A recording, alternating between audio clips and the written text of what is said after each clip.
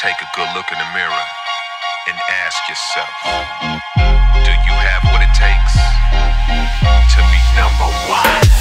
Now, is it in you to push yourself to the limit and win it? Then defend it to no ending. Of others call me contenders. Some of them coming for vengeance, some of them coming for business. All you wanted the ones who were one of the ones who pretended. If you were winning, you winning. Maybe from bitter beginnings, but you beating the beast to your feast like dinner. You chickens never gonna win it, go winners. If you couldn't do probably need a new hobby